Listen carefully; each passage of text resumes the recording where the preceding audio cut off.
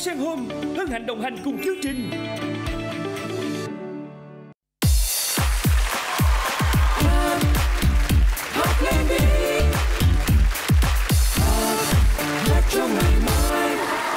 Quyền Linh Hồng Nhật chào đón quý vị và các bạn đến với chương trình Hát cho ngày mai.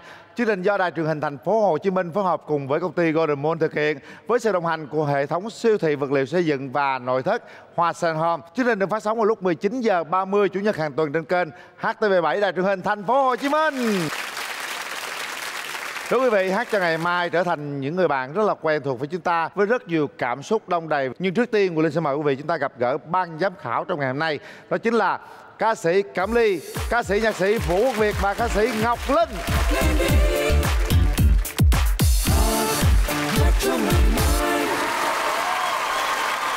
Xin chào ban giám khảo thân yêu Đầu tiên là người quen thuộc của tôi Ca sĩ Cam Ly Hôm nay trẻ trùng quá Ba tụi tôi mới vừa tốt nghiệp lớp 6 xong Hôm nay à, Cẩm Ly à, có nôn nóng gì à, Để gặp những người ở tuyến đầu chống dịch không?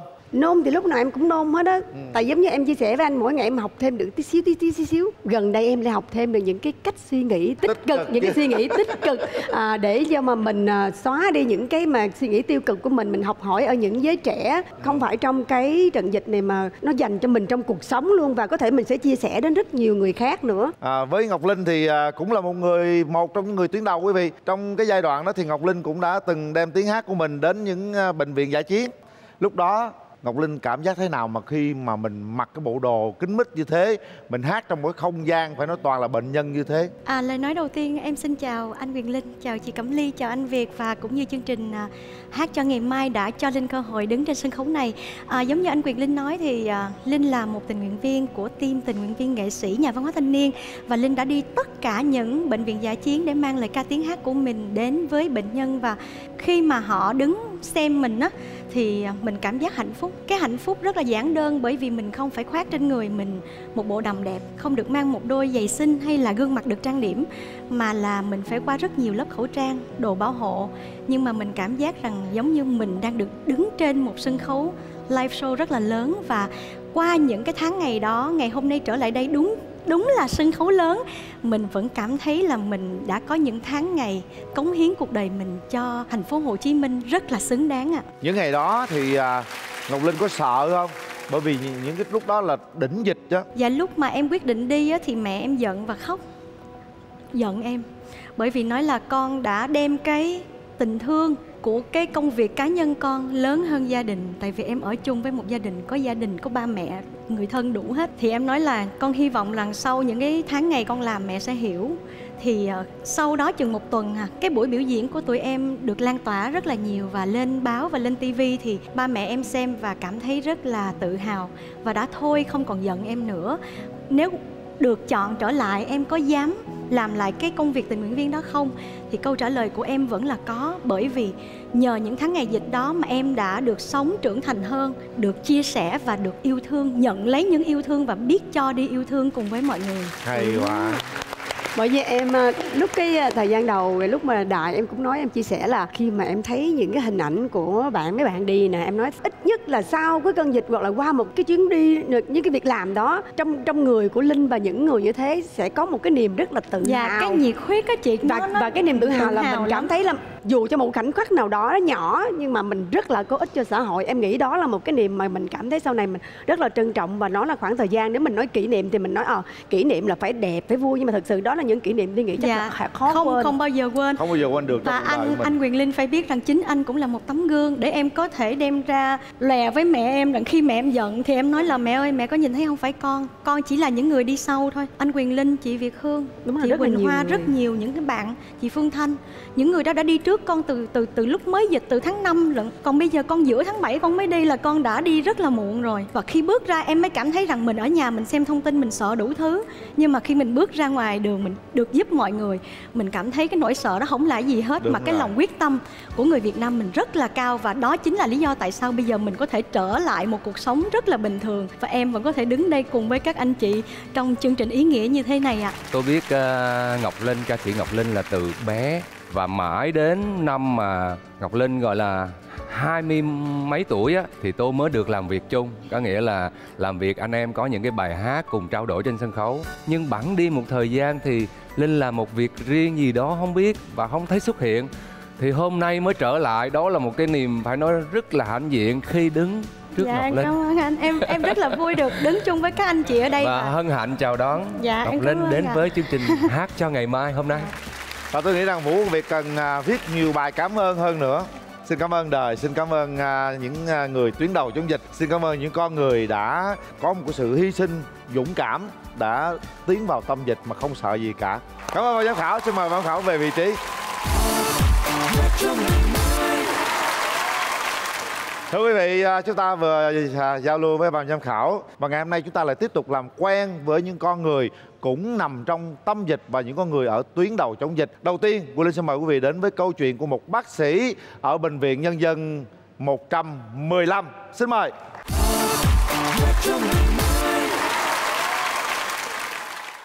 Dạ, xin chào bác. Tôi tên là Nguyễn Thị Kim Chi, hiện đang công tác tại khoa khám và điều trị theo yêu cầu của Bệnh viện Nhân dân 115. À, bác Kim Chi đã có hơn 30 năm phục vụ trong ngành y à, với à, cái thời gian đặc biệt là 2 năm của đại dịch đó hai năm đó thì bác suy nghĩ điều gì Trong tất cả chúng ta thì sẽ không ai có thể quên được những cái năm, những cái khoảng thời gian mà đau thương nhất, mất mát nhiều nhất và những thách thức chưa từng có của đợt dịch thứ tư diễn ra tại thành phố Hồ Chí Minh. Trong cái thời gian đầu thì chúng ta cũng có khá nhiều lúng túng. Trang thiết bị, vật chất cơ sở y tế thì nó thiếu thốn, nhân lực y tế cũng thiếu thốn, kể cả những trang bị phòng hộ cho y bác sĩ cũng thiếu thốn rất là nhiều. Cơn đại dịch này nó đến thật ra là nó quá bất ngờ không ai có thể tưởng tượng được nó lại là một diễn ra một cách mà kinh khủng như vậy cả. Thời gian đầu thì cũng ai chắc cũng có thể bị bị sốc tại vì cái số ca tử vong tăng lên từng ngày từng ngày.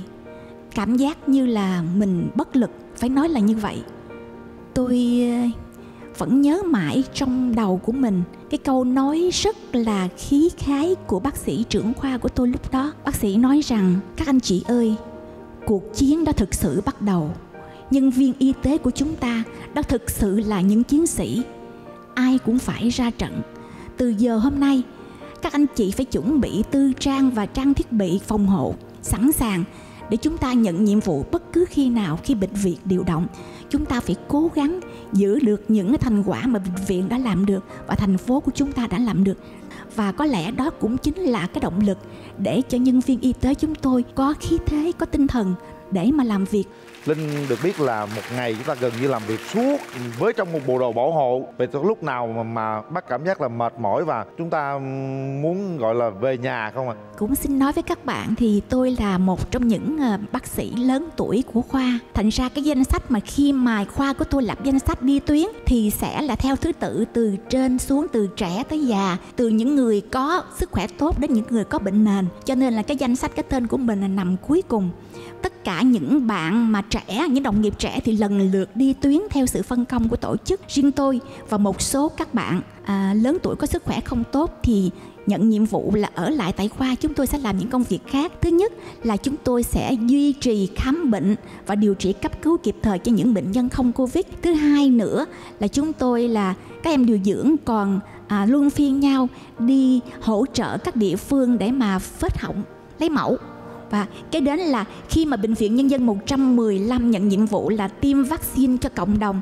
cho những bệnh nhân từ 60 tuổi trở lên và có bệnh nền, thì Bệnh viện 115 là một trong những bệnh viện đầu tiên đã triển khai tiêm vaccine cho cộng đồng. Và trước đó, chúng tôi cũng đã là triển khai tiêm vaccine cho những bệnh nhân đang nằm điều trị nội trú tại bệnh viện, cũng như là bệnh nhân ngoại trú của khoa nội thận và ghép thận. Và ngoài ra lực lượng nhân viên y tế ở trong khoa còn chia nhau chia nhỏ lực lượng ra để mà đi hỗ trợ tiêm vaccine tại các tuyến quận huyện dân cư tại các tuyến quận huyện các nhà máy và xí nghiệp À, cảm ơn bác vì sự chia sẻ cống hiến của các bác sĩ cũng như là các nhân viên y tế tại Bệnh viện Nhân dân 115 Và bây giờ thì à, bác sẽ đến với chương trình bằng tác phẩm gì?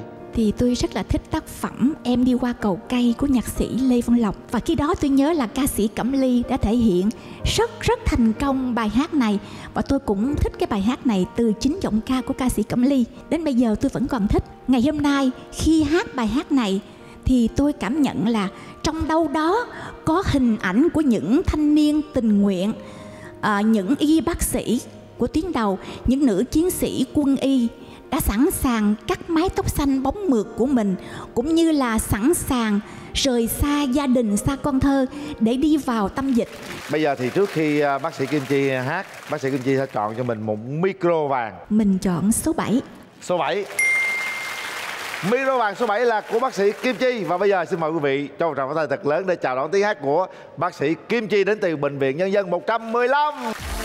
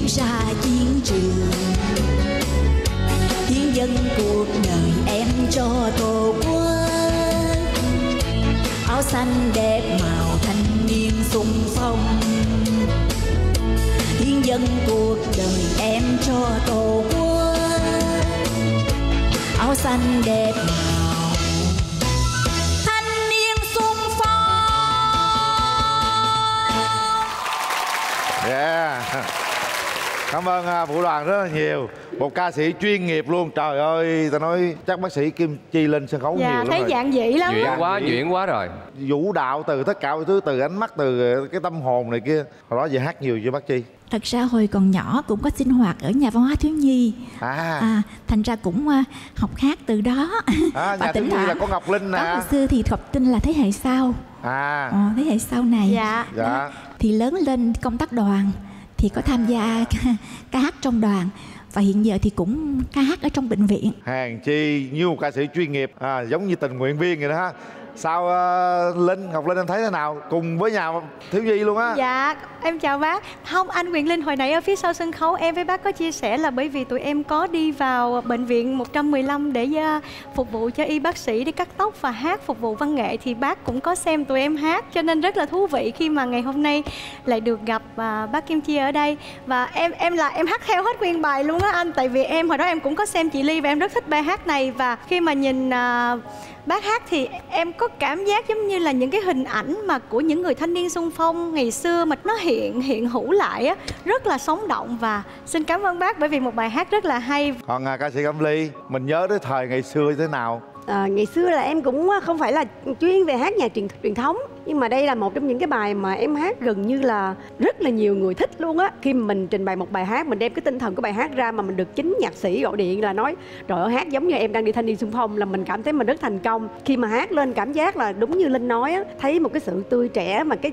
cái nhiệt huyết của cái người thanh niên xung phong mà người nữ á, mà bây giờ á, là bác bác chi á là liên tưởng và đặt nó vào trong những cái người tình nguyện trong cái chiến cái đại dịch này nữa. Cảm thấy nó rất là ý nghĩa. Và đặc biệt là khi bác cất tiếng nói lên ở đây khoái vô cùng nó cha cái giọng đọc của bác nó đài từ của bác nó rất là kịch luôn á anh Diễn viên lồng tiếng á. và cảm nó ơn cảm ơn cẩm ly nó rất là giống cái mấy người diễn viên lồng tiếng mà em còn liên tưởng thêm nữa cái này mà nghe dạng giọng đọc đọc truyện đó anh À. đêm khuya là, là hấp dẫn hơn nữa đó cái giọng bác trẻ lắm luôn cảm ơn ban giám khảo rất nhiều À, cảm ơn bác Kim Chi à, đã đem đến sân khấu à, những cái giây phút rất là sảng khoái và một cái bài hát nhắc nhớ là những kỷ niệm của rất là nhiều người rất tuyệt vời. Cảm ơn à, cái năng lượng tích cực của bác luôn luôn tràn ngập khắp mọi nơi. Chúc mừng bác. à, cảm ơn tất cả mọi người Dạ.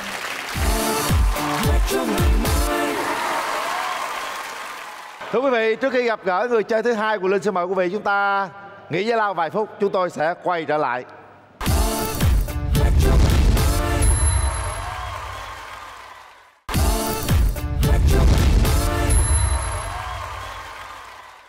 Chào đón quý vị và các bạn quay trở lại với hát cho ngày mai. Chúng ta vừa đến với câu chuyện đầu tiên của bác sĩ Bệnh viện Nhân dân 115 Bác sĩ Kim Chi. Còn bây giờ Quỳ Linh xin mời quý vị chúng ta sẽ gặp gỡ một cô giáo đến từ Tây Ninh. Cô giáo ấy tên là cô Tú Trinh. Xin mời.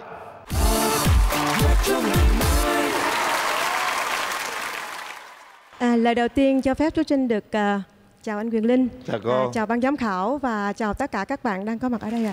Được biết à, trong những ngày à, chống dịch đó thì cô giáo cùng với những bạn bè của mình ừ, gọi là lấy cái chiếc xe lôi đó chở lương thực đến để cứu trợ cho những khu cách ly cũng như những cái à, nơi mà bà con đang gặp khó khăn đúng không ạ? Cho phép chú Trinh được à, chia sẻ cái câu chuyện của mình. Thật tình mà nói thì à, ừm, dịch Covid-19 đã hành hành một cách rất là dữ dội và tôi vẫn cứ tâm đắc một cái câu nói của à, đồng chí à, trưởng phòng giáo dục của huyện. Chúng ta là giáo viên, thực chất thì chúng ta đã là những chiến sĩ trên mặt trận văn hóa rồi. Nhưng bây giờ một lần nữa, Tổ quốc cũng đang cần chúng ta góp sức vào trong cái công cuộc đó là à, chống lại cái đại dịch này. Rồi được cái lời động viên của à, thầy hiệu trưởng, thầy Trần Cao Minh Chương và tôi là một trong những người đầu tiên của trường xưng phong vào cái tiến đầu của huyện tham gia vào cái việc đó là ờ, tách F0 ra khỏi cộng đồng, tức là trực tiếp đi vào trong quần chúng nhân dân. À, trước đó thì khi bắt đầu cái chỉ thị 15, 16 diễn ra, tôi và một người nữa, một người bạn nữa cũng ở trong trường. Đầu tiên hết thì chỉ là những cái nhỏ lẻ thôi các bạn, tức là ở nhà có cái gì hoặc mình có cái gì thì mình cứ lập một cái gian hàng để là gian hàng không đồng, rồi mình để một cái bàn ở đó xong à, sau đó thì à, à, bà con mình cứ đến lấy. Ai khó khăn thì đến lấy Dạ, à, thế rồi à, nhà của một cô lại có một cái chiếc xe lôi đó thế là chúng tôi đi mượn. À, hai ba ngày sau nữa thì chúng tôi lại liên hệ với hội phụ nữ của xã. Thế là có được cái băng rôn. À, có được cái băng rôn để lên trên cái xe lôi đó và chúng tôi đã bắt đầu có được cái nguồn lương thực nó hơi khá hơn một tí. Là chúng tôi đi đến tận từng nhà và từng ấp trong xã không bỏ sót bất kỳ một hộ gia đình nào.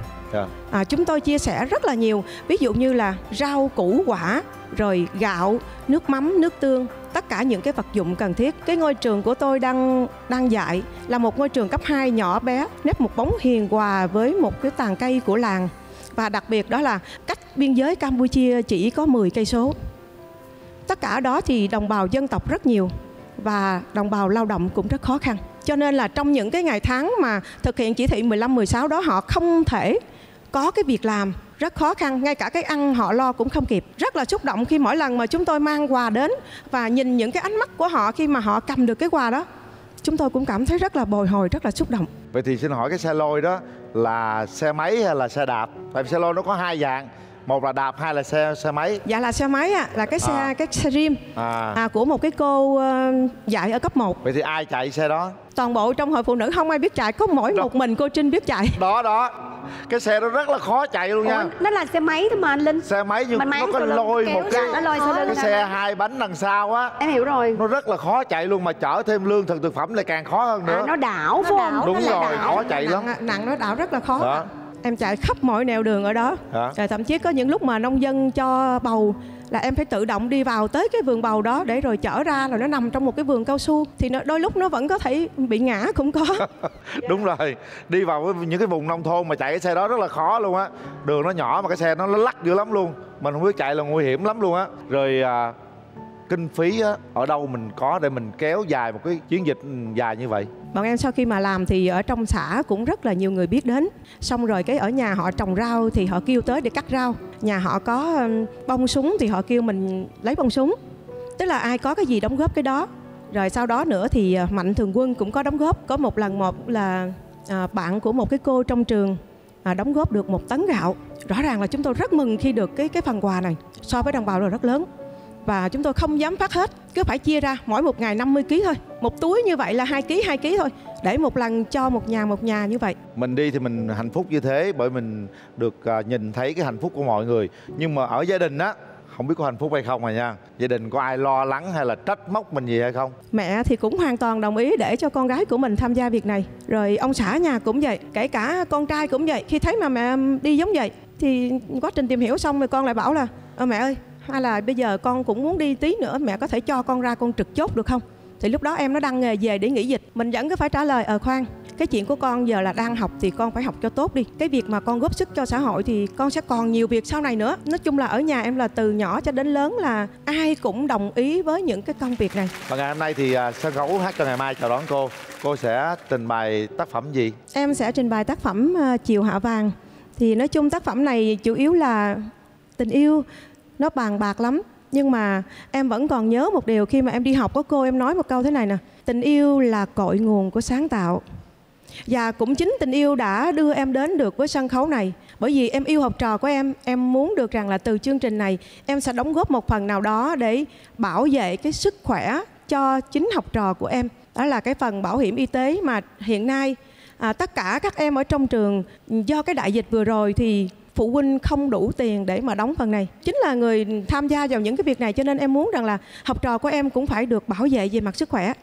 Đấy. không chỉ lo cho mình cho gia đình mà lo cho xã hội nữa. Cảm ơn cô tu trinh. Mời cô giáo sẽ chọn một cái micro vàng.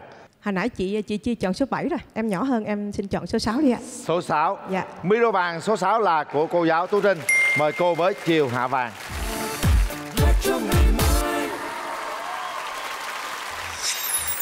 em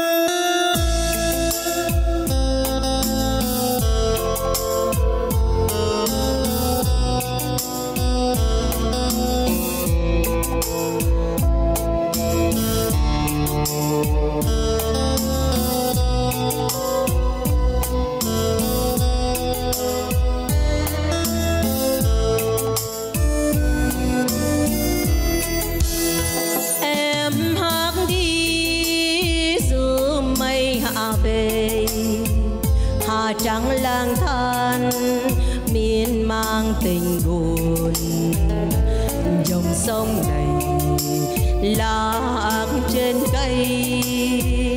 Mây trôi trôi, chim ngu đôi nhớ.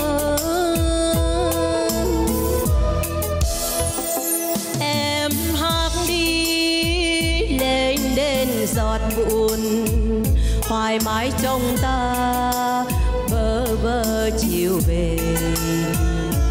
Dòng sông này, nhớ mãi em ca.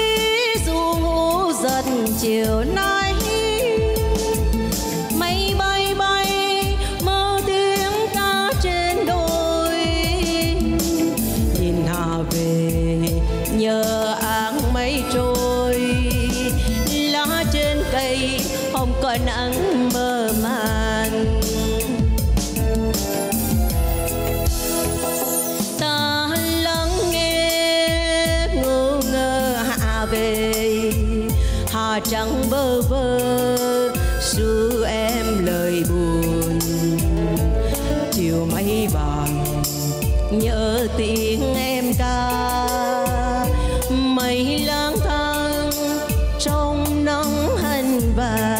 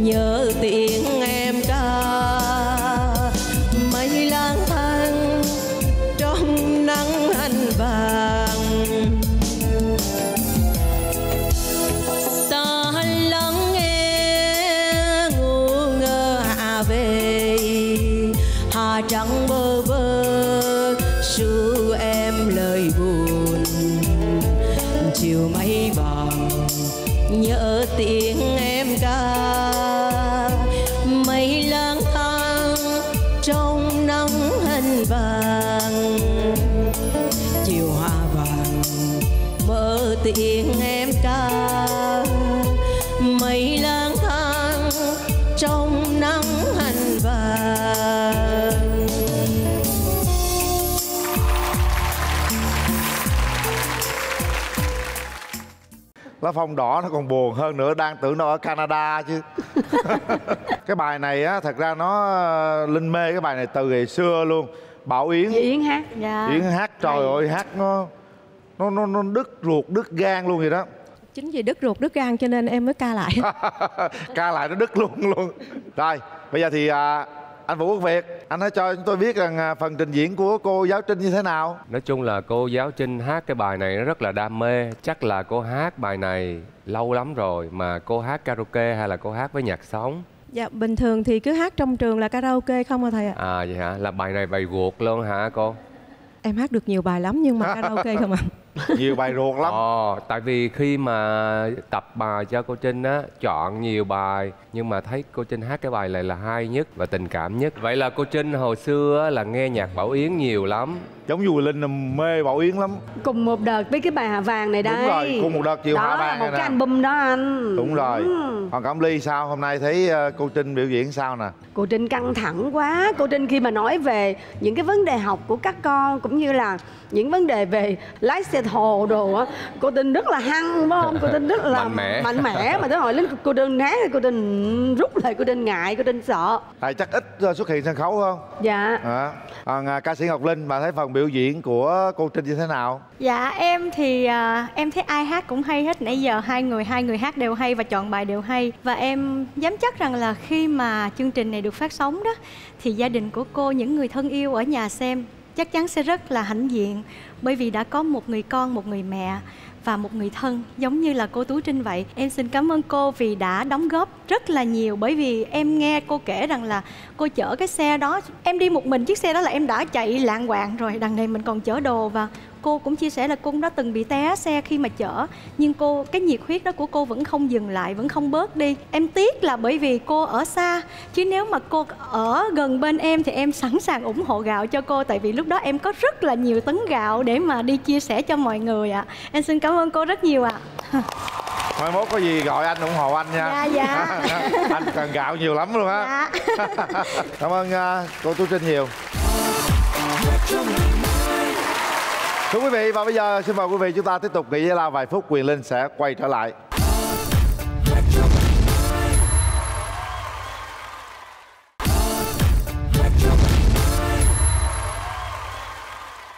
Chào đón quý vị, quay trở lại với hát cho ngày mai. Chúng ta vừa đến với hai người chơi đầu tiên. Còn bây giờ sẽ là người chơi tiếp theo, Đó là một bác sĩ đến từ Bệnh viện Trung ương Huế, Bác sĩ Trương Viết Hoàng. Xin mời.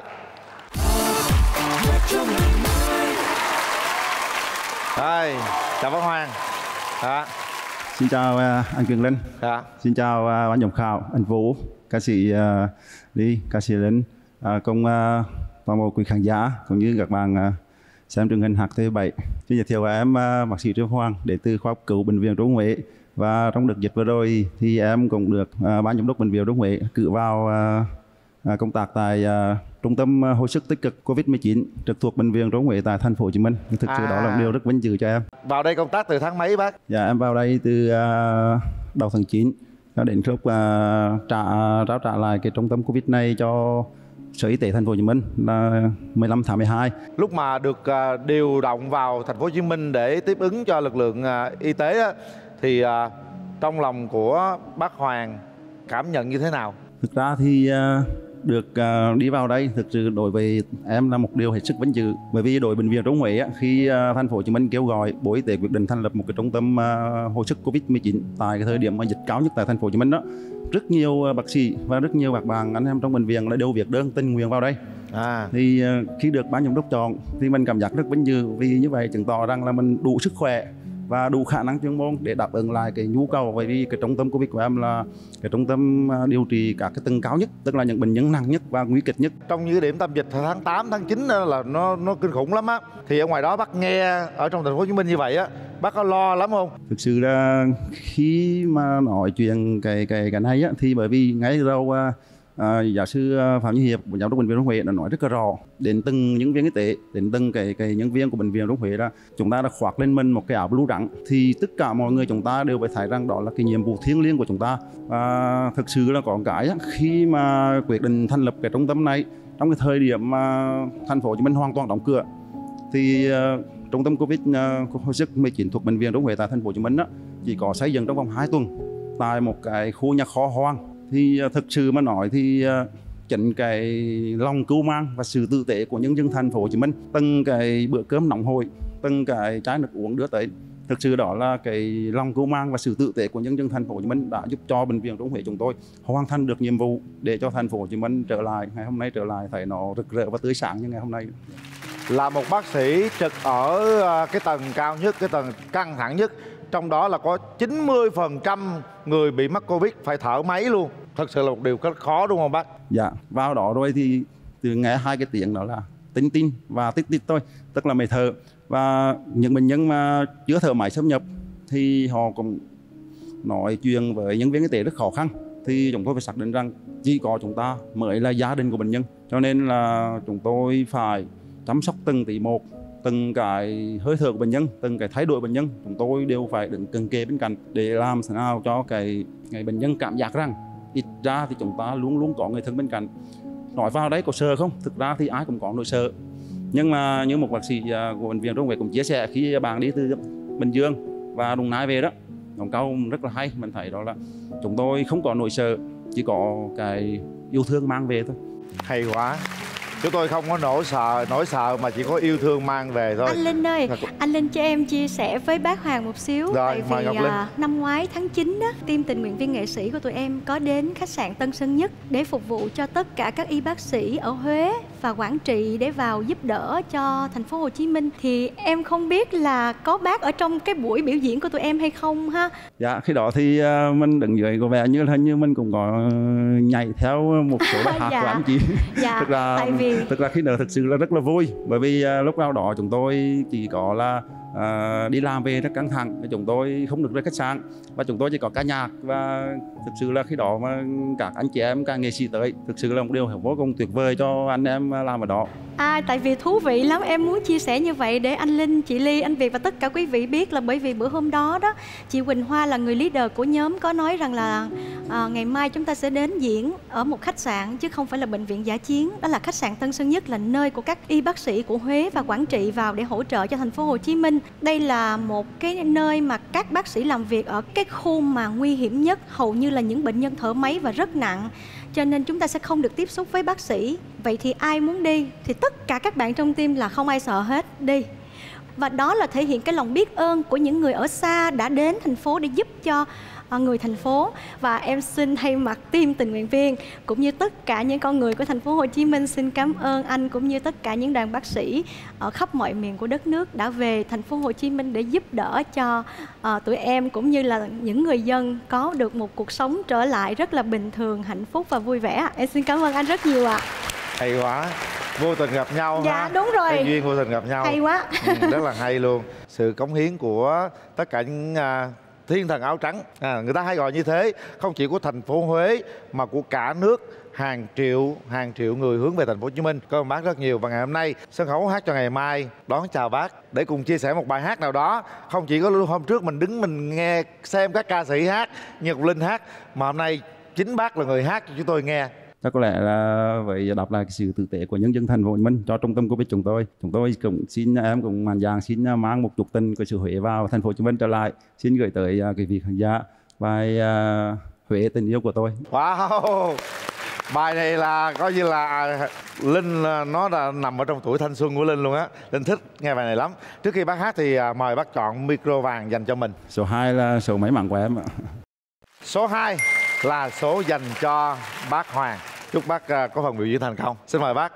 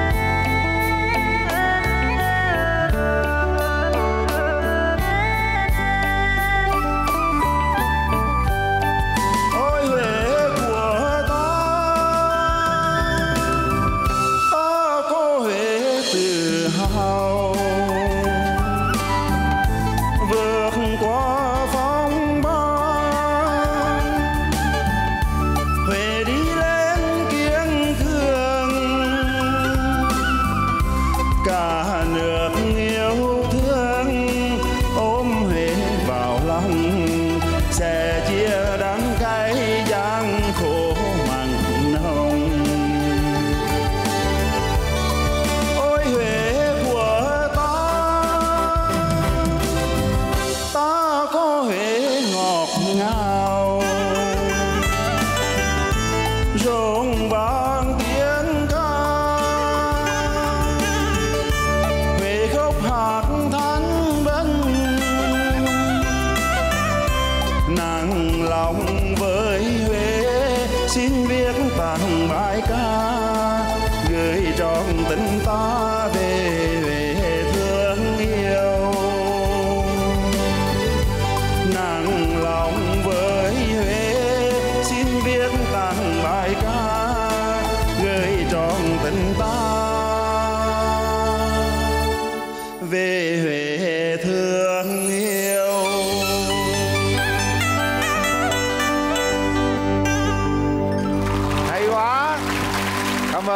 Gái xinh đẹp với tà áo dài của huế.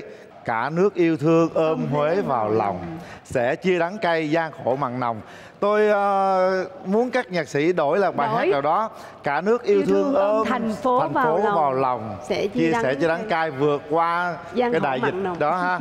Ờ, đó là một trong những cái điều mà chúng tôi luôn luôn trân trọng và tri ân hàng triệu tấm lòng đã ôm thành phố Hồ Chí Minh vào lòng. Nhắc lại cái cơn đại dịch đó thật là một sự ám ảnh nhưng chúng tôi rất là tự hào về con người Việt Nam. Cho dù nguy hiểm cách nào họ cũng đến với thành phố Hồ Chí Minh cùng chung tay vượt qua đại dịch một cách tuyệt vời nhất. Và ngày hôm nay thành phố đã hồi sinh lại. Cuộc sống bình thường mới. Cảm ơn các bác rất là nhiều. À, một cái bài hát rất là hay ôm nỗi nhớ vào lòng nhớ Huế yêu Huế thương Huế như thế. Nhưng mà khi đại dịch đó bác lại xa Huế đến với thành phố Hồ Chí Minh. Vậy thì nỗi nhớ nhà như thế nào? Nhớ người thân thế nào? Bác có thể chia sẻ được không? Vợ em cũng là bác sĩ. Thì khi em vào đây làm thì ở ngoài kia vợ cũng phải trực gác. Thì thực sự là mình thấy khó khăn nhất đó là hai con nhỏ. Là hai cháu một đứa 10 tuổi và một đứa 6 tuổi. Nhưng mà cũng may mắn thì à, có vẻ như hai cháu cũng đã hiểu được cái quyết tâm của ba mẹ. Cho nên là cái chuyện à, bữa ăn cái bữa giấc ngủ các cháu hầu như tự lập. Nhớ thì thực sự là nhớ chứ. Không nhớ được à, khi nào con nó gọi vào thì nó hỏi câu thành phố Hồ Chí Minh đã hết corona chưa ba. Tất nhiên là ngày nào thì nó điện sau cuối cùng thì ờ, sau một tuần thì ờ, có vẻ như cháu cũng hiểu và cháu cũng hỏi câu đó nữa. Và cháu chỉ hỏi lại câu là má nhớ là khi nào hết dịch thì mang qua về cho con nha. Và sau đêm nay, cháu sẽ hỏi, gọi hỏi ba là, ba ơi, ba hát thấy, ba thấy thế nào? Con coi con rất tự hào với giọng hát của ba. Với tự hào về những cái cống hiến của ba đóng góp của ba cho thành phố Hồ Chí Minh. Ờ, trước khi đi á thì con nó có dặn gì không? Hai đứa nhỏ đó. Con không dằn gì mà con lại hỏi câu khác. Hỏi sao Ủa, con hỏi là ủa rồi tới thành phố Hồ Chí Minh sao con corona ba lại đi? Không lần này ba đi là về chắc chắn là ba sẽ có quà cho con đó Rồi, xin mời ban giám khảo. Đầu tiên tôi thấy rằng Ngọc Linh vẫn luôn luôn cảm xúc bởi vì có duyên gặp với bác Hoàng rồi đúng không? Dạ. Thì chúng ta chia sẻ đi cảm xúc ờ, với bài hát vừa rồi như thế nào? Em may mắn hơn anh là em ờ, ngồi lắng nghe anh và lắng nghe bài hát này với một tâm thế rất là thoải mái, bình yên chứ không phải như anh lúc đó xem tụi em hát rằng vẫn rất là căng thẳng và mệt mỏi. Em thấy ai cũng hát hay mà ai cũng rất là thoải mái giống như là em được đi xem ca nhạc vậy đó. Cho nên nếu mà chương trình có làm mùa 2, mùa 3 nhớ cho Linh tham gia nữa. Tham gia nữa nha. À, anh hát tuyệt vời lắm bởi vì anh chính là con người Huế cho nên là anh hát bằng tấm lòng của anh bằng cái uh, tình yêu thương của anh. Và em biết rằng cái tình yêu đó nó còn có cả tình yêu của thành phố ở trong đó nữa. Cho nên là khi anh hát uh, bài Huế trên một mảnh đất không phải là Huế trên mảnh đất của thành phố Hồ Chí Minh nơi mà mình đã đóng góp rất là nhiều công sức thì cái điều đó rất là đáng tự hào. Cho nên là em vẫn chỉ là một câu cảm ơn anh rất nhiều ạ. Mời ca sĩ cẩm ly? Đúng là anh linh với em cũng đồng quan điểm hồi nãy nghe cái bài đó là em cứ lòng ngược cái cái thành phố với huế vào đó à. À, tại mình cảm giác giống như đang nói về Đúng thành rồi. phố mình tại vì đây là những người đến giúp đỡ thành phố của mình cho nên em cứ lòng ghép vào trong đấy. À, bác đã nói cái câu là nỗi sợ không có chỉ có yêu thương mang về. Ba cái tháng mà bác làm như thế không biết là bác có ấn tượng với một cái kỷ niệm một cái hình ảnh nào mà đẹp về thành phố Hồ Chí Minh của à, chúng mình không nhỉ chuyện thành phố Hồ Chí Minh à, trợ lý và cũng những kháng vị hàng giả biết đó. Chúng tôi đáp chuyến bay xuống sân bay thứ Nhất, chỉ có một đoàn của bệnh viện Trung Huế và cả một sân bay thứ Nhất vắng lặng, không có một tiếng đồng nào cả. Rồi trên cái đường, trên đường à, đi về à, khách sạn đó, thì chỉ có con đường chính và nghe tiếng tiếng xe của cấp cứu thôi. Hai bên đường thì rào lại thành phố thực thực sự là ngủ yên luôn, ngủ say hoàn toàn. Và sau đó đến ngày tháng 10 á, đầu tháng tháng 10 thì thành phố Hồ Chí Minh bắt đầu mở cửa. Nhưng thực sự là mở cửa nhưng cũng không có người ra đường. Và 6 6 giờ thì cũng là đóng cửa. Chúng tôi ở trên từng các khách sạn nhìn xuống. Và thời điểm đó thì thành phố Hồ Chí Minh đổ mưa nữa. À buồn. trong cái đó là cái nhớ Huế mưa Huế. Và thành phố nó buồn. Và cũng giống như là cái mưa Huế vậy. Nên sau đó dần dần lên thấy người dân bắt đầu ra đường. Và đến bắt đầu cuối tháng 11 đó trở lại với nhịp sống cũ. Thì ờ, anh em tự nhủ rằng là chúng ta đã gần như là thành công rồi. Chúng ta đã giúp thành phố Hồ Chí Minh trở lại rồi. Đó là cái cái cái, cái niềm vui mà nó ở trong lòng tất cả anh em chúng tôi khi vào đây. Thực sự rất vui và đến ngày hôm nay trở lại cái bước xuống sân bay tất nhất là thực sự là chờ rất là lâu để lại được hành lý của mình. Cũng rất là mệt. Nhưng mà có cái là chính điều đó là thấy rằng thành phố Hồ Chí Minh chắc chắn sẽ rất sáng trở lại. Thành phố Hồ Chí Minh đã hồi sinh nhờ vào hàng triệu trái tim ôm thành phố vào lòng. Hai lần bước xuống sân bay thì hai cái hình ảnh khác nhau hình ảnh là thành phố đang bệnh và một thành phố bây giờ đã khỏi bệnh và rất là tươi xanh. À, nhìn đó cũng nhờ đóng góp của rất là nhiều các y bác sĩ mà không chỉ riêng các y bác sĩ ở thành phố Hồ Chí Minh mà cả nước đều ôm thành phố vào lòng để sẻ chia hết. Thật ra bác Hoàng biết không? À, Những giai đoạn đó đó Quỳ Linh là người đi ra đường nhiều nhất. Mỗi lần mà thấy những chuyến xe Mà chở các bác sĩ á Chúng tôi khóc không à. Chúng tôi cảm giác rằng Thành phố nó được yêu thương nhiều quá. Mỗi lần mà chúng tôi đứng ngoài đường thấy Những cái chuyến xe mà chở những bác sĩ, Những ngành y tế từ các tỉnh khác, Các địa phương khác về á, Chúng tôi cảm giác rằng chúng tôi biết ơn nhiều lắm. Và khi chúng tôi phát hiện ra một cái áo trắng nào đó, tôi cảm giác rất là vui và cảm giác mình được cứu sống hay như thế nào đó. Bởi vì xung quanh chúng tôi biết rằng lúc đó rất nhiều bệnh nhân đang cần đến bác sĩ mà ngành y tế lúc đó rất là khó. Không chỉ riêng các bác sĩ tới đến từ thành phố Huế, mà hàng ngàn các lực lượng y tế đến từ khắp mọi nơi, ôm thành phố vào lòng. Và thôi thì bác đứng đây cũng đại diện cho biết bao nhiêu người mặc áo trắng đã đến thành phố này cho Quỳ Linh ôm một cái một cái ôm biết ơn tất cả thiên thần áo trắng anh ơi anh cho em ôm với ơn đi Ngọc Linh muốn ôm tất cả các ngành à, các người mặc áo trắng vào lòng như vậy Em xin được ôm anh một cái ạ à. Em rất là biết ơn ạ à. Mà em cũng xin tiếp lời anh Linh là Em quyết định đi tình nguyện bởi vì cũng đã nhìn thấy những bài báo ờ, Những những hình ảnh những người bác sĩ ở vùng khác Họ đến để giúp đỡ cho thành phố mình. Mà trong khi mình là một người con của thành phố Mình ở nhà thì nó kỳ lắm Cho nên là em cũng quyết định đi ra làm tình nguyện viên. Bởi vì chính anh Linh, chính anh là những cái người động lực cho em và em rất là biết ơn ạ. Cảm ơn anh À, rất cũng nhiều à, xin chia lại với anh Linh với à, chị Linh cũng dạ thực ra thì à, chính cái sự tư tế của các anh chị đã tiếp bước cho cái sự thành công của cái trung tâm Covid 19 của bệnh viện Trung Huế tại thành phố Hồ Chí Minh. Bởi vì nếu không có cái tấm lòng tử tế đó không có sự cứu mang đó thì thực sự để trong hai tuần thành lập một cái trung tâm Covid lớn như vậy rất là khó. Đó là chưa kể tới nói khi bước vào đây bữa cơm khó khăn nước uống khó khăn thì tất cả những thứ đó đều là tấm lòng tử tế của thành phố Hồ Chí Minh đặc biệt là các anh chị em à, tình nguyện như chị Linh nói đó. Chính những chị đó đã đem tới cái bữa ăn cái nước uống cho chúng em để chúng em thấy rằng là rất là thoải mái để chúng tôi tiếp tục làm công việc đó. Dạ. Em xin cảm ơn rất nhiều ạ. Cảm ơn các bác rất là nhiều. Thật ra mà nói thì à, giai đoạn đó đã qua rồi. Khi nhắc lại chúng ta không khỏi à, xúc động cho đến tận bây giờ. Chúng tôi à, vẫn không bao giờ có thể quên được những cái tình cảm của tất cả mọi người đã gửi đến thành phố Hồ Chí Minh. Cảm ơn ông Hoàng rất là nhiều. À, nãy giờ cảm xúc nhiều quá quên nhạc sĩ Vũ Quốc Việt luôn. Trong à, đại dịch thì cái kỷ niệm hoặc là cái ký ức buồn á nó cũng khá là nhiều. Nhưng mà ờ, tôi thấy ở bác sĩ Viết Hoàng á là có những cái gọi là hãnh diện và những cái niềm vui trong nghề nghiệp á. Điều đó nó nó rất là quý để nó truyền cảm hứng cho tất cả những người làm công công tác giống như anh vậy đó. Anh Hoàng á là không có được tập nhạc cùng với việc ngay ngày đầu tiên trong chương trình à, hát cho ngày mai này. Bác sĩ Hoàng có công việc rất là nhiều ở ngoài Huế thì hai anh em chỉ trao đổi trên điện thoại thôi và anh hát cho mình nghe ở trên à, à, điện thoại đó. Thì anh hát cũng rất là nhiều bài nhưng mà tôi với bác sĩ Hoàng là có đồng một cái quan điểm. Mình hên hát một cái bài Huế đi. Chúng tôi là người miền Nam hay là những người miền khác á, muốn hát một cái bài Huế nó cũng rất là khó. Phải phát âm như thế nào để nó ra cái chất Huế? Nhưng đối với bác sĩ Hoàng thì tôi không lo chuyện đó tôi rất là tự tin. Anh chỉ cần đến anh hát. Và hôm nay đúng là một tinh thần hát của người bác sĩ. Cảm ơn anh tiết mục này. Cảm ơn tấm lòng của anh rất nhiều. Cảm ơn nhạc sĩ Vũ Quốc Việt. À, cảm ơn Hoàng. Bây giờ thì xin mời à, chị à, Kim Chi với lại à, à, cô giáo Tú Trinh sẽ ra đây để chúng ta công bố kết quả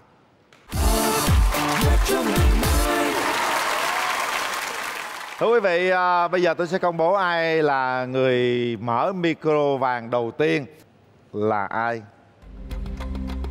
Người dừng chân ở vòng 1 là cô giáo Nguyễn Thị Tú Trinh. Chiều hạ vàng buồn quá. À, xin mời à, bác sĩ Kim Chi cùng bác sĩ à, Trương Viết Hoàng chúng ta vào trong để chuẩn bị.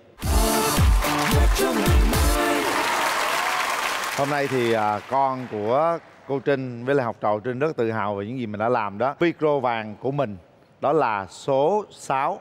Xin mời số 6.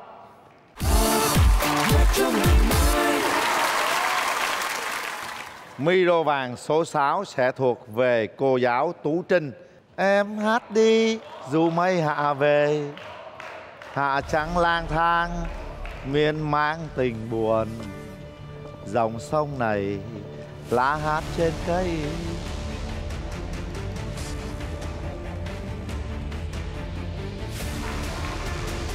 Số 5 rồi. Hồi hộp không cô trinh? Dạ hồi hộp chứ. Hồi hộp hả? Vậy thì số trước là số mấy quý vị? Số 1 số 2 số 3 số 4 hay là số nghỉ giải lao vài phút?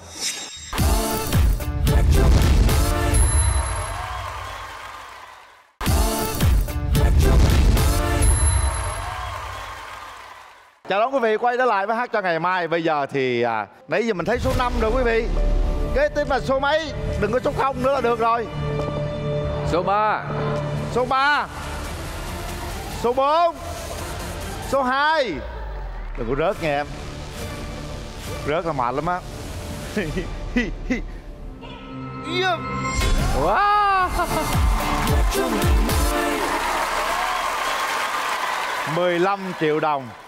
Như vậy là nó cũng à, hoàn thành được ước mơ. À, 15 triệu đồng là món quà của chương trình hát cho ngày mai gửi tặng cô giáo. À, để có thể có thêm một cái à, món quà đem về cho học sinh của mình nha chúc cô giáo Trinh và tất cả các ờ, thầy cô ở trường thật nhiều sức khỏe hạnh phúc và thành công À, xin cảm ơn anh Linh, cảm ơn ban giám khảo, cảm ơn tất cả các bạn. Thật ra với cái số tiền này thì ờ, đã đủ theo cái ước mơ mà tôi muốn đến đây để ờ, giúp cho học trò của mình. Các con của trường Trung học cơ sở Hòa Hiệp ơi, các con yên tâm nha. Tức là trong năm nay chúng ta đã được bảo vệ sức khỏe rồi đấy. Và một phần nữa, tức là cũng thông qua chương trình tôi cũng rất là mong muốn có nhiều người biết hơn nữa đến cái ngôi trường cấp 2 nhỏ bé của chúng tôi nói chung là còn rất là nhiều những cái thiếu thốn để cho chúng tôi có thêm những cái động lực để hoàn thành cái sự nghiệp giáo dục ạ. Cô đọc địa chỉ trường của cô luôn đi cô. Trường Trung học cơ sở Hòa Hiệp, ấp Hòa Đông A, xã Hòa Hiệp, huyện Tân Biên, tỉnh Tây Ninh.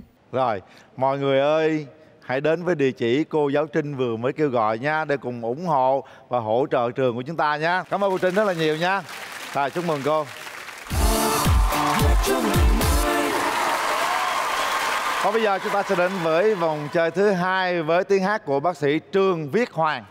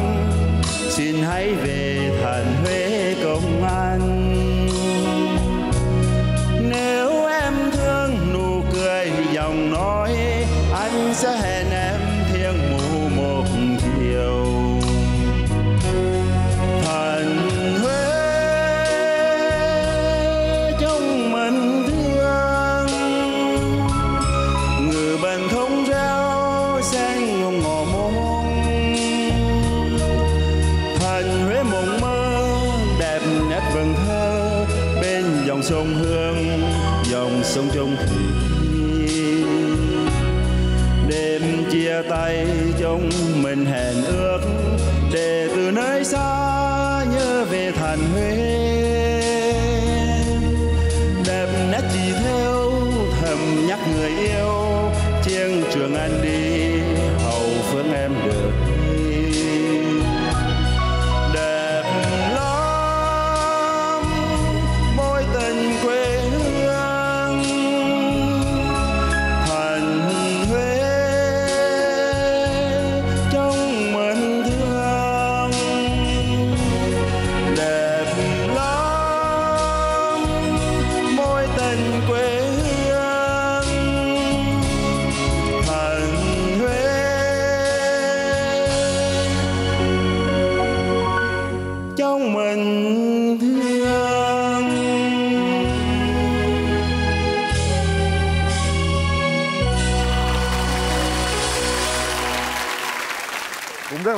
sáng luôn làm cho nhiều người nhớ đến thành phố Huế à, nhớ đến à, sông Hương núi Ngự nhớ chè hẻm nhớ mắm tép rồi nhớ mắm chua nhớ bánh nậm rồi nhớ bún bò Huế ha.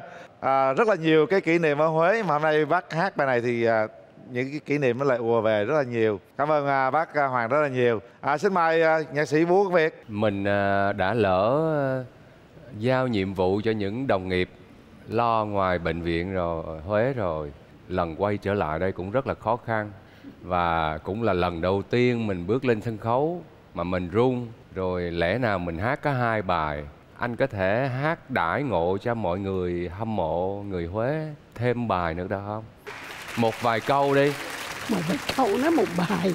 Một Nghe nói một bài Ủa, tự biết nhiên đâu run bắt mà. vào bắt vào ờ, vòng trong bác còn hát tiếp nữa không chỉ hát một mình mà hát với ca sĩ Ngọc Linh nữa. Bây giờ hát biết đâu vào chưa vào vòng trong sao bây giờ hát tạm ứng trước.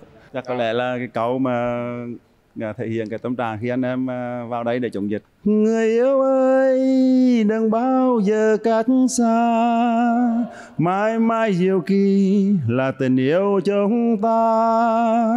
Và ta biết một điều thật giản dị càng xa em, ta càng thấy yêu em. Đòi hát nhạc Trịnh Công Sơn rồi đòi hát ca Huế rồi bây giờ còn hát nhạc Phú Quang nữa. Anh có hát bài bolero được không? Có lẽ như bolero là cũng một tủ à. là nhiều. Trời ơi, nhiều chưa? một tủ luôn. Một tủ. làm bài nghe chơi. Nè, một đoạn cứ làm bài người ta quản chứ. Cứ nghe một bài là bắt đầu mặt tái lên à. Làm đoạn nghe chơi. Bolero một đoạn bolero mình gặp nhau như lúc mới quen ban đầu cứ sao em ngại ngùng. Nhà tôi đơn côi mời em ở lại. Ồ, một cái câu hát rất là ý tứ ha. Còn à, cẩm ly thấy à, bác hoàng hát thế nào? Bác đem đến đây những bài hát về Huế. Cho thông qua bài hát cho người ta thấy một cái cái cái thành phố Huế nó nó quá đẹp luôn á. Mà hát rất là hay bài này hát bác hát mượt hơn nhiều so với bài Huế tình yêu của tôi luôn á. Mà có điều chắc có lẽ là căng thẳng một tí xíu à, tại vì có cái anh anh mặc áo trùng trùng với mình nó nhìn thấy ghét quá cho nên bực bội. Anh Hoàng anh hát cái bài này á là vì anh có một cái tâm sự là vì anh nói là anh nhớ về cái tuổi thơ á khi còn nhỏ là anh đã nghe bài hát này rồi. Cho nên khi mà anh ờ, vào cùng tham gia bệnh viện giải chiến á anh càng nhớ quê hương. Cho nên khi mà tham gia chương trình ờ, hát cho ngày mai á, anh muốn hát lại cái bài hát này là vì anh có một cái tuổi thơ gắn bó với Huế á, rất là thân thương và anh nghe bài hát này từ tuổi thơ thì Anh là khi người mà Huế việc- mà. à, việc nghe bài hát này á tự nhiên mình cũng có rất là nhiều cái cảm tình. Cho nên là hai anh em á, quyết định là để anh bác sĩ Hoàng sẽ hát bài hát này trong chương trình.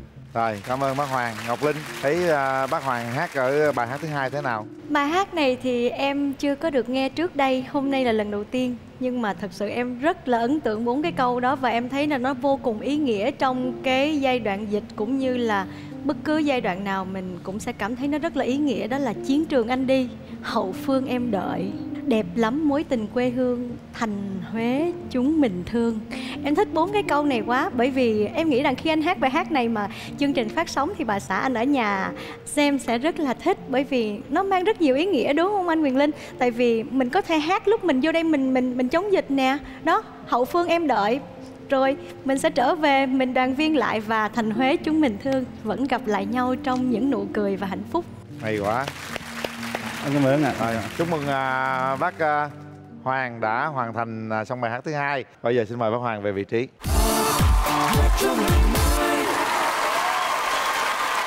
Và bây giờ chúng ta sẽ đến với người chơi tiếp theo đó là bác sĩ Kim Chi đến từ Bệnh viện Nhân dân 115.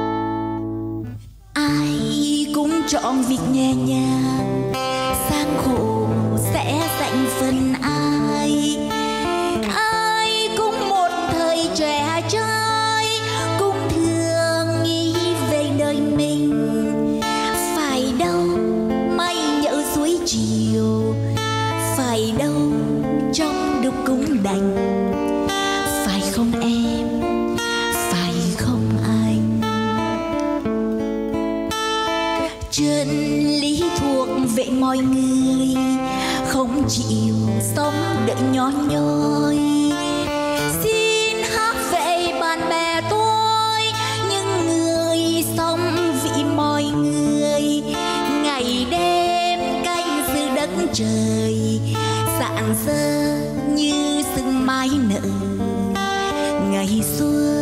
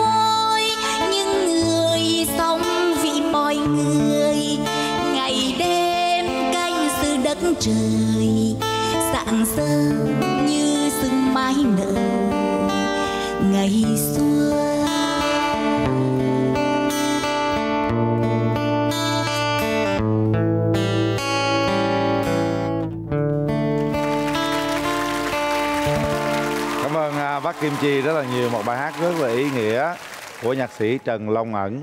Ai cũng chọn việc nhẹ nhàng, gian khổ sẽ dành phần ai. Một bài hát rất là hay. Bây giờ thì à, xin mời à, nhạc sĩ Quốc Việt. Bác sĩ Kim Chi thân mến, chị chọn bài hát này á, em nghĩ là nó không phải là chị hát nữa, mà đó là cái tấm lòng chị muốn trải ra từng cái lời chị hát á, giống như là một cái kể một cái câu chuyện dài của những người đóng góp cho xã hội, giống như là công việc của chị giúp đỡ cho tất cả những người bệnh nhân và cũng như là cho cuộc đời trong cái cuộc chống dịch này. Cảm ơn chị. cảm ơn em Xin mời ca sĩ Cẩm Ly.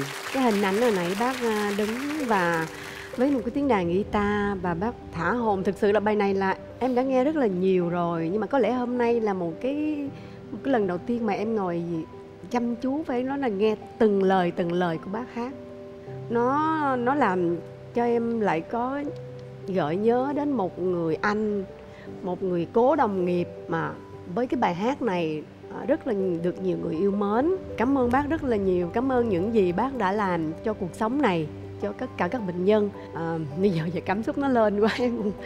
À, tự nhiên bỗng nhiên nhớ ảnh quá trời luôn. Cảm ơn bác đã đến đây rất nhiều. Em không thể nói gì được. Nữa chị chọn bài hát này và chị cũng muốn truyền tải đến một ý nghĩa là bài hát này hiện giờ nó như là một cái sự tôn vinh những người chiến sĩ áo xanh áo trắng đang ngày đêm sát cánh cùng nhân dân mình chống Covid và chị cũng xin gửi tặng bài hát này cho tất cả những bạn bè của chị, những đồng nghiệp của chị, những chiến sĩ áo xanh áo trắng, những người luôn sống vì mọi người.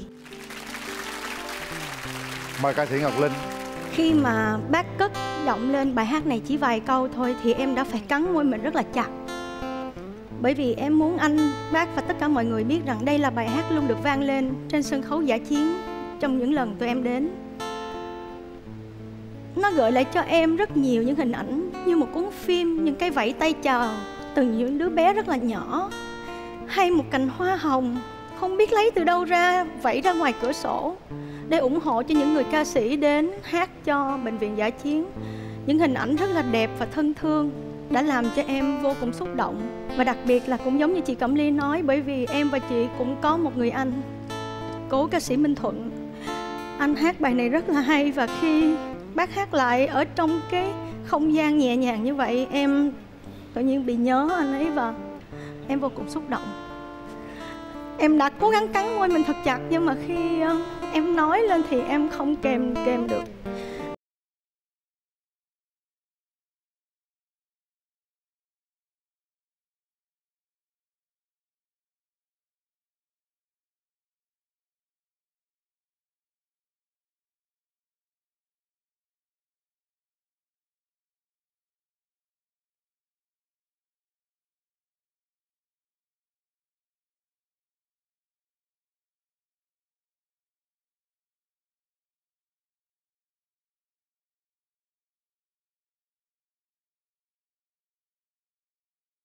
Cảm ơn à, bác sĩ Kim Chi. Thật ra quý vị trong chương trình chúng tôi luôn luôn có những giọt nước mắt. Có nhiều người nói tuổi sao Quỳ Linh à, lúc nào cũng khóc trong chương trình này vậy. À, chúng tôi khóc khóc không phải vì à, gọi là quỷ mị đâu quý vị. Chúng tôi khóc vì tự hào, khóc vì những lời tri ân, khóc vì hạnh phúc. Cảm ơn cuộc đời này đã cho những cái con người sống hết lòng trong đại dịch với thành phố Hồ Chí Minh. Lời cảm ơn bác sĩ Kim Chi rất là nhiều về bài hát của nhạc sĩ Trần Long Ẩn. Còn bây giờ thì xin mời à, bác sĩ Viết Hoàng chúng ta trở lại sân khấu để chuẩn bị công bố.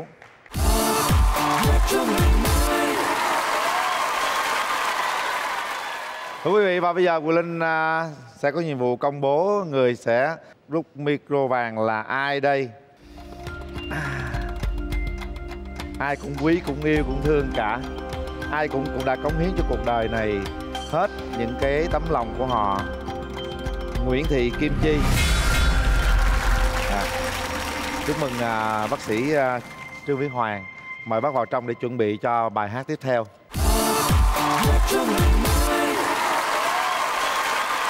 Bây giờ thì à, bác sĩ Kim Chi à, sẽ xem cái micro vàng của mình với à, một món quà là bao nhiêu. Xin mời số 7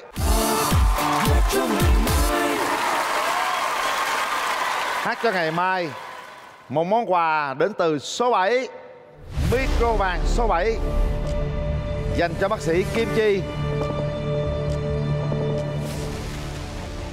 40 40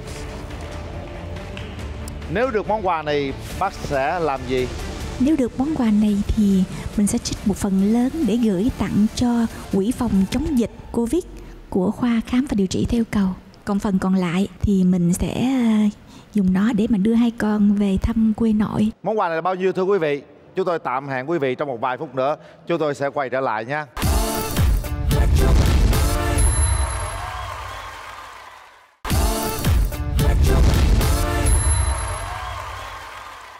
Chào đón quý vị quay trở lại với hát cho ngày mai Bây giờ sẽ là món quà dành cho bác sĩ Kim Chi Số tiền là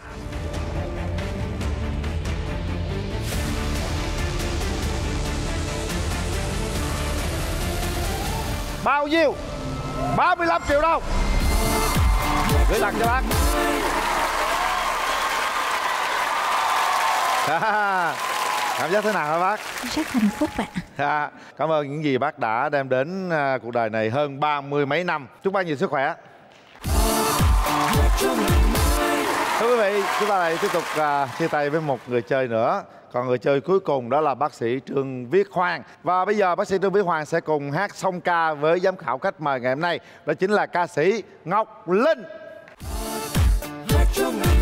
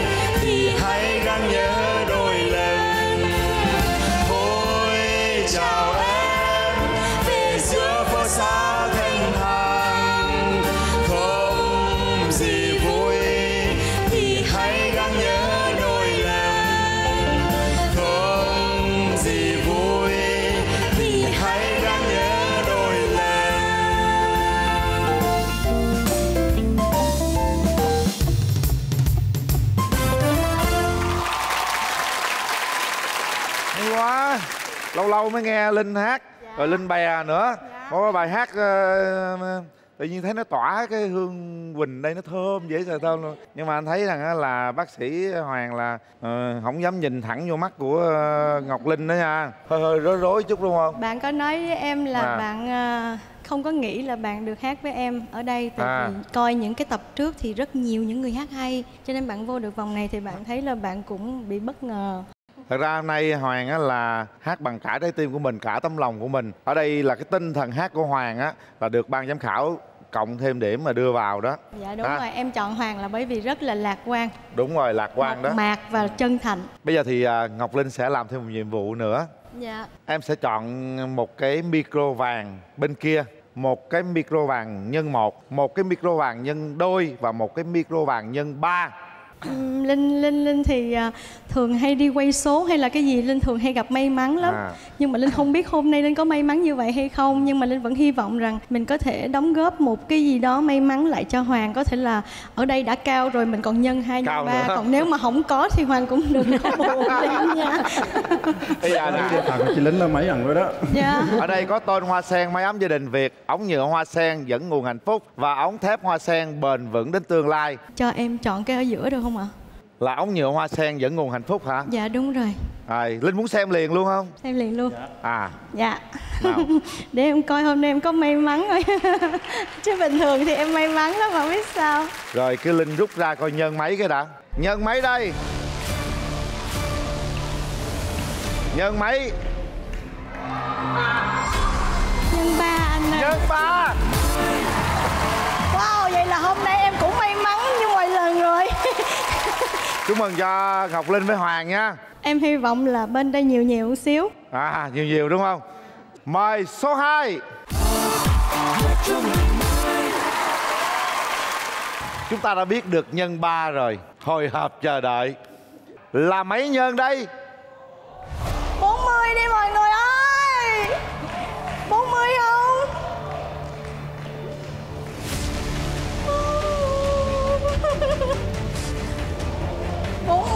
số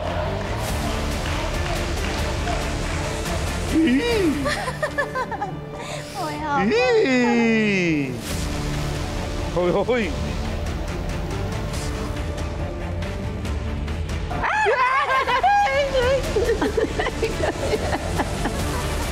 Không nào. Số mấy ở đối đầu mới quan trọng? Số mấy? Em số nói mấy? là số 4 mọi người ơi số 4 mọi người ơi số 4 Số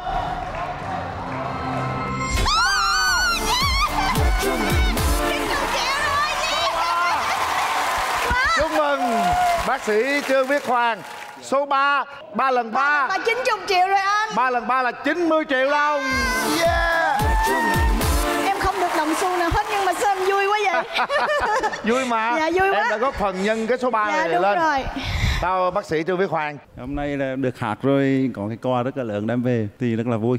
Thì uh, em thấy cái báo thanh niên á, có cái chương trình rất là hay. Đó là cùng con bước tiếp tương lai tài trợ cho các uh, cháu mà là không còn cha mẹ nữa thì uh, em xin uh, gửi uh, cái quỹ này 50% giải thưởng này Em à, xin gửi à, một phần à, lượng số tiền này vào cái quỹ à, của Hội chụp thập đỏ bệnh viện Trung Huế bởi vì hiện tại bệnh viện Trung Huế cũng là đang làm cái chương trình cho à, bệnh nhân nghèo tức là các suất ăn hàng ngày tại bệnh viện Trung Huế đó. Thứ hai nữa thì à, chắc là còn phần nhỏ còn lại giống như à, lúc đầu nói đó sẽ đem qua về quà cho con ừ.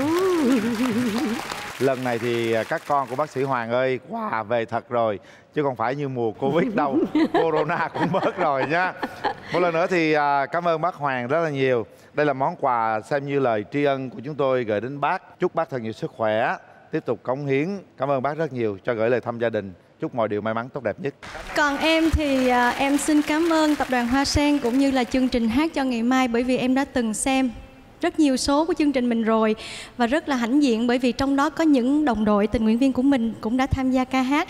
Và hôm nay thì mình đứng đây không phải để là thí sinh mà là giám khảo khách mời để cùng chia sẻ những niềm vui những nỗi buồn trong cơn đại dịch vừa qua. Được gặp anh Quyền Linh chị Cẩm Ly cũng như là anh Vũ Quốc Việt à, được hát cùng với Hoàng và đặc biệt là đã mang lại một niềm vui nhân ba đến cho Hoàng để Hoàng có thể làm nhiều điều tốt cho cộng đồng. Và xin cảm ơn chương trình rất nhiều và chương trình hãy nhớ là nếu có mùa hai mùa mùa 3 nhớ mời Linh nữa nha cho Linh tham gia nữa nha. Linh xin cảm ơn ạ. Tuyệt vời ca sĩ Ngọc Linh.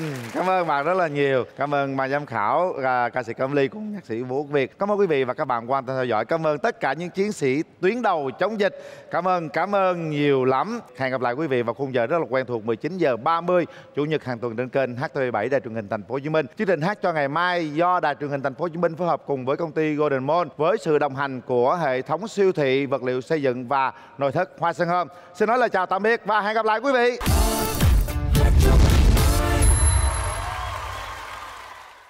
Hoa Sen Home hân hạnh đồng hành cùng chương trình.